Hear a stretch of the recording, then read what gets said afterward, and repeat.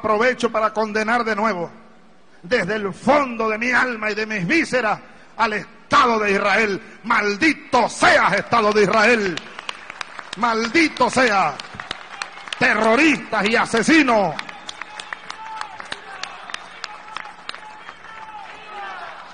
Y viva el pueblo palestino.